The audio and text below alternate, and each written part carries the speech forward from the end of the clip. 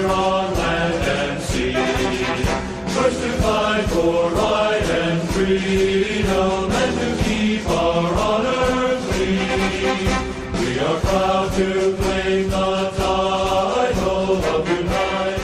Good evening, ladies and gentlemen, distinguished guests. Really appreciate you being here. Uh, my name is Commander Sergeant Tim Sergeant, Detachment Commander for Great Security Guard Detachment Lomé Togo. Just wanted to uh, give a couple of thanks and uh, words of appreciation before we uh, bring our guest speaker.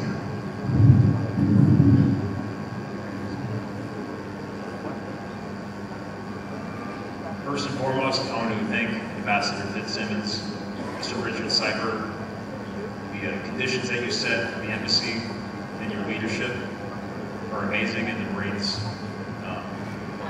picture a better ambassador uh, that we would love to uh, serve. As well as our Deputy Chief of Mission, Mr. Ron Hawkins. We appreciate you, sir. Thank you for all your mentorship, you sharing State Department policies with us, the conditions you set, your leadership, we appreciate you, sir. Thank you. Going down the list, really want to thank GSO, Mr. Rob Villar, Mr. Francis Ajana, for making the introductions to the hotel here, with Monsieur Masson and Madame Blue. This event wouldn't be possible if they didn't make the introductions for me, Nigel Barrera, to set up the ball here. Thank you, gentlemen. We also like to thank our club, our community lia- liaison officer, Ms. Cora, Ms. Sonia, for including us in any type of embassy activity they come up with or that we come up with them in collaboration. Thank you so much. We want to thank our outstanding FM, Mr. Penning, who always helps us out with things at the Marine House and always is uh, willing to assist and drop everything he can to help out the Marines. Thank you, sir. I really want to thank the Regional Security Office, Mr. Roberts, Mrs. Villar. Your leadership is absolutely outstanding.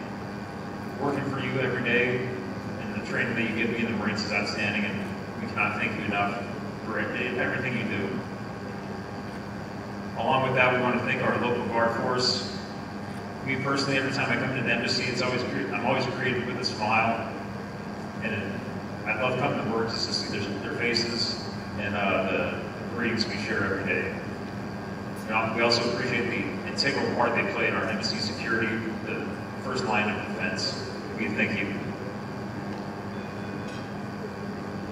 I want to thank the best band in Togo happens to be here tonight. Miname, thank you for being here. We appreciate you.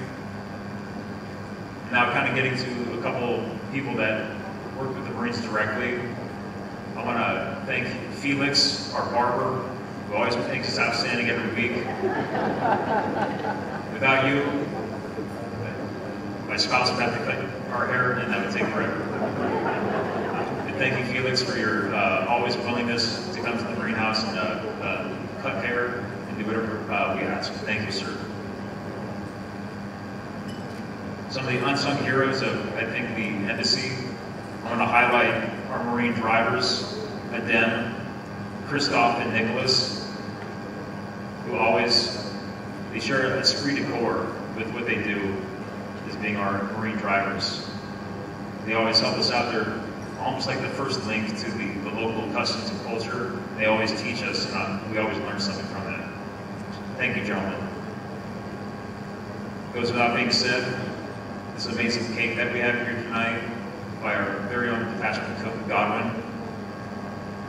Day in and day out, he always shows up to make three meals a day for the Marines at the house. He does it with a smile. We appreciate you, Godwin, for everything that you do and your willingness to help the Marines out at any time. Thank you. I would be absolutely remiss if I didn't mention this uh, gentleman. My father, Nicholas Tibesar, flew in from Billings, Montana, from the United States to be here with us tonight. The way I see it, he's a uh, representative of the, the homes that Marines come from, either be a father, mother, grandparents, uncle, aunt. His foundation that he said in me, the work ethic that I saw him do growing up, that's, he's the reason why I'm a gunny. Thank you, Dad.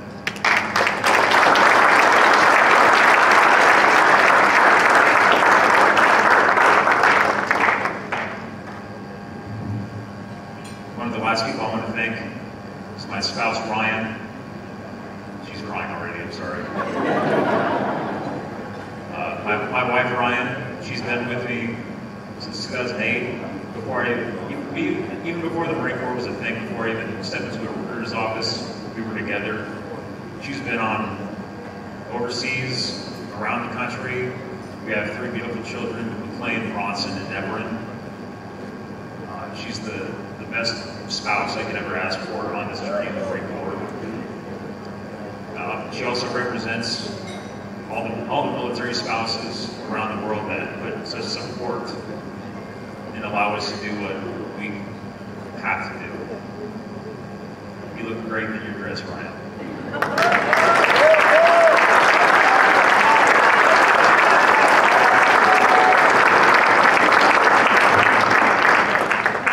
The last people I want to thank is uh, Detachment Lomé. It's just like the ambassador spoke in there's one Marine not here. And if you don't mind, I'm going to give him a call really quick.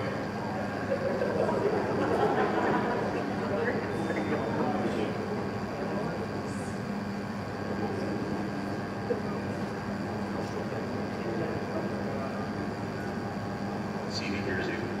Thank you for calling me. If you have any interest,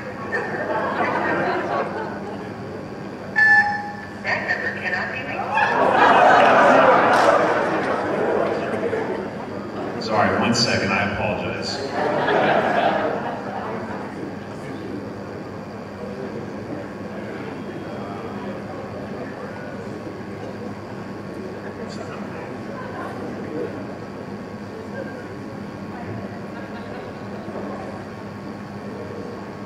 Unit 2 minutes, this is the Marine Security Guard at Post 1.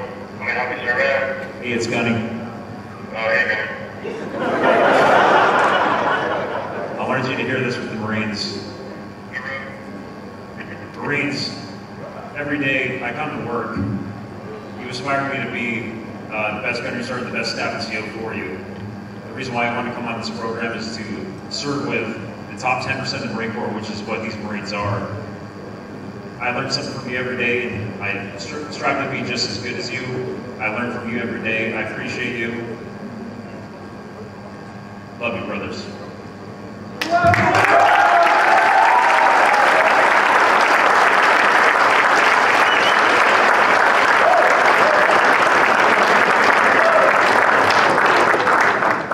Sorry about that phone call. And this evening, our guest speaker, Brigadier General Jerry Carter, United States Marine Corps. He's the Director of Intelligence for United States African Command. Currently, he serves as Director of Intelligence, United States African Command. He's a distinguished graduate of Morehouse College in Atlanta, Georgia, where he received his Bachelor's of Arts degree in Banking and Finance. A native of York, Pennsylvania, General Carter enlisted in the Marine Corps in 1985. He commissioned as a second lieutenant in 19, 1992 and is awarded the Signals Intelligence Electronic Warfare Military Occupational Specialty before becoming a Marine Air Ground Task Force Intelligence Officer. During his military career, General Carter served in a variety of staff positions the S-3 Alpha, 2nd Radio Battalion, 2nd Surveillance Reconnaissance and Intel- Intelligence Group, 2nd Marine Expeditionary Force J-2 Operations, CENTCOM, PATCOM Branch Head, Joint Special Operations Command, S2 Alpha, 13th Marine Expedi- Expeditionary Unit, Special Operations Cap- Capable, G2 Plans, 1 Marine Expeditionary Force J3 Interagency Branch Head, Joint Special Operations Command, This Assistant Chief of Staff G2, 2nd Marine Expeditionary Force J2, Joint Special Operations Command. Those are just some of the many things he's done and even more. The last bit for General Carter is from 2010 to 2011, General Carter served as a Commandant of the Marine Corps National Security Fellow at the JF, John F. Kennedy School of Government, Harvard University, and the Timothy T. Day Fellow at the Harvard Business School in 2016. General Carter is married to the former Angela M. Claggett, FNP. Angie and Jerry have two beautiful daughters, Brianna and Erin. Please welcome to the podium General Carter.